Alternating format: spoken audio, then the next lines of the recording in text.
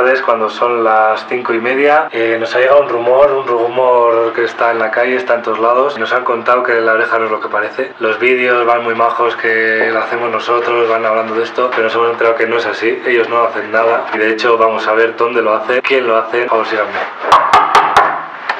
Nos han dicho que es aquí, por favor. ¿Por qué nos encontramos? Hola, buenas tardes. Hola, buenas tardes. Bueno, nos encontramos con Mr. Enigmático, que sabemos que es el que hace todo lo que se hace en la oreja de Van Gogh, los vídeos, las fotos. ¿Cómo se lleva que unos carden la lana y otros se lleven la fama? Es muy duro, la verdad. Muy, muy duro. Sí, podía decir más cosas, pero prefiero mantener el Bueno, silencio. es verdad que el grupo le obliga a estar horas y horas metido en, en un ordenador. Totalmente cierto. Pues como vemos aquí son cuatro ordenadores los que usa este hombre para hacer los vídeos y las fotos de la oreja de Van Gogh. Ahí como ven tiene un mando, va grabando. Grabamos el 50% de las imágenes y el 50% de las fotografías.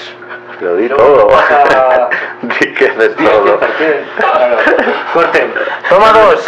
¿Qué hace usted exactamente con las imágenes del grupo? ¿Las toma usted? Tomo las edito, lo hago todo. Todo. ¿Cuántas horas pasa al día delante del ordenador? 25. ¿Tiene miedo a las represalias?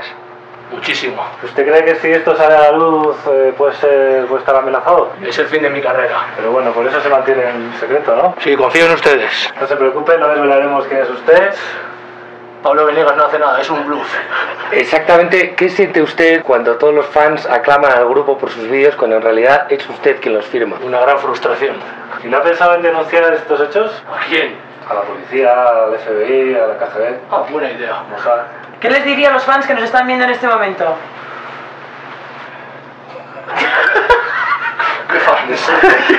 Pues hay muchos fans que igual pueden ver este vídeo. Hola, fans. Un beso de parte del Mr. Enigmático.